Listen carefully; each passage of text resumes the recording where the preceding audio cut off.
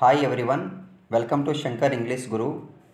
Today I am talking about the name of lesson which is Letter to JRD Tata by Sudha Murthy. Sudha Murthy is a well-known social worker and author. Is renowned for her noble mission of providing computer and library facilities in all government schools of Karnataka state. And also she is the chairperson of the Infosys Foundation. It was probably April of 1974. Bangalore was getting warm and gulmohars were blooming at the IISC campus. She was the only girl in her postgraduate department and was staying in the ladies' hostel. Other girls were pursuing research in department of science. She was looking forward to going abroad to complete a doctor, doctorate in computer science.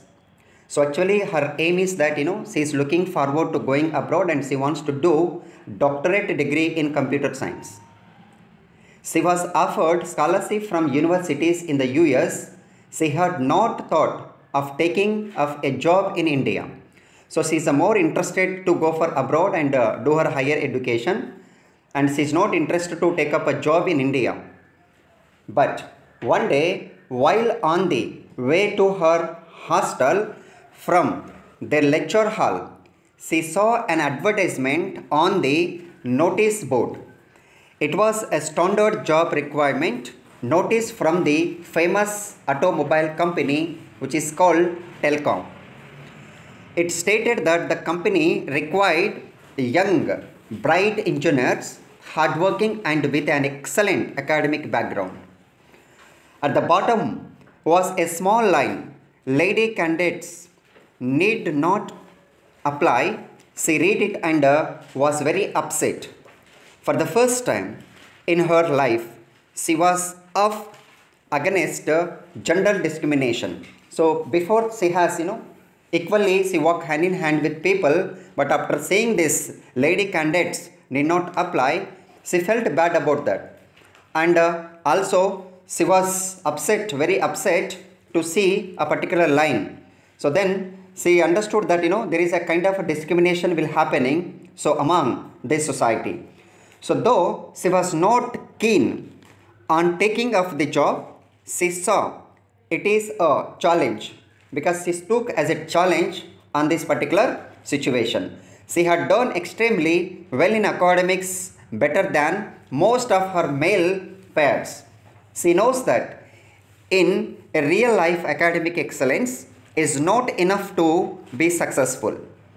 After reading the notice, she went to Fleming to her room. She decided to inform the topmost person in telecom about the injustice that company was preparing. She got a postcard and started to write, but there was a problem. She did not know who headed telecom, sorry, telco. She thought it was it must be one of the Tatas. She knew JRD Tata was the head of this Tata group. She saw his picture in the newspaper. She took the card addressed it to JRD and started writing. She remembered clearly what she wrote. The great Tatas have always been pioneers. They are all the people who started the basic infrastructure industries in India such as iron and steel, chemicals, textiles and locomotives. They have cared for higher education in India since 19, 1900s and uh, they were responsible for the establishment of the Indian Institute of Science. But she was surprised how a company such as Telco was discriminating based on gender.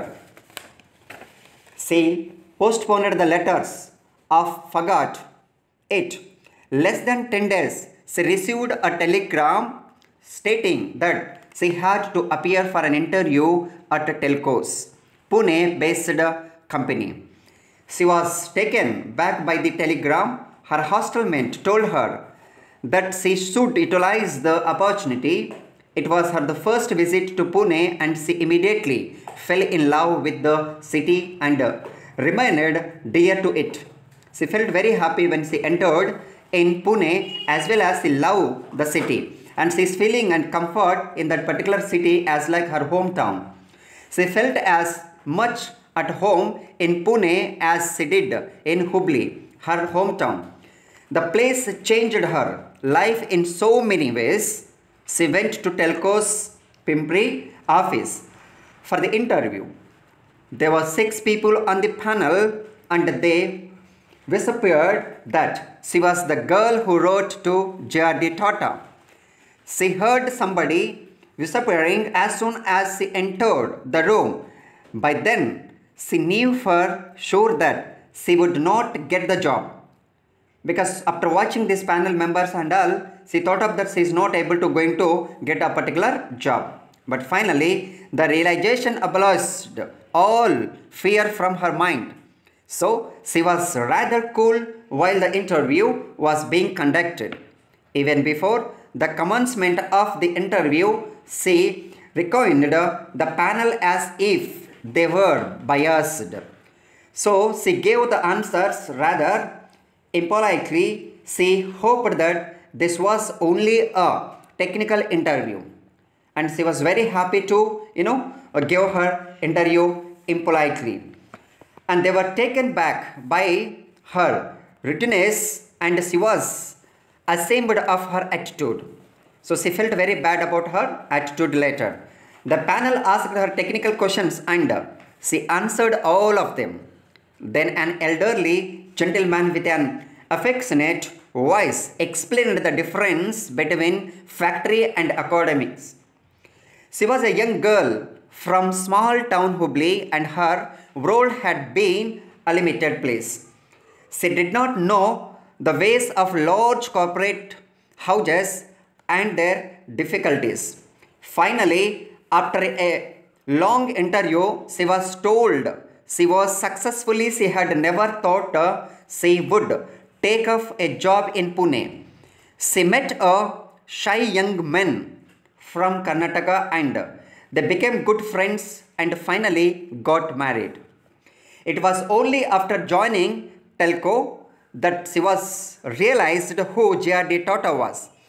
He was the uncrowned king of the industry like Indian industry.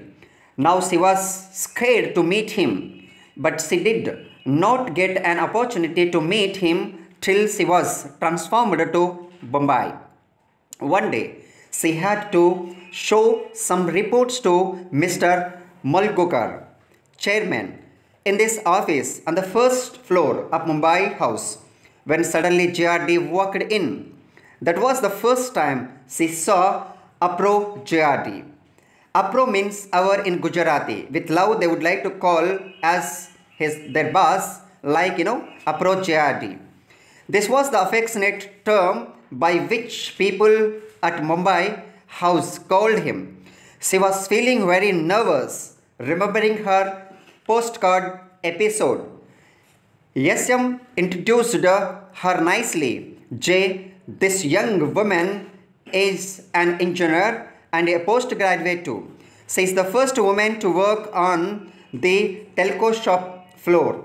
JRD looked at me. She was praying to God that he would not ask her any questions about her interview. Instead, he remarked, it was uh, nice that girls were getting into engineering in our country. After that, she used to see JRD on and off. In 1982, she had to resign from her job at Telco when she thought of leaving the company she wanted to meet JRD Tata. When she met him, he gave suggestion to her to become confident and most give back to society.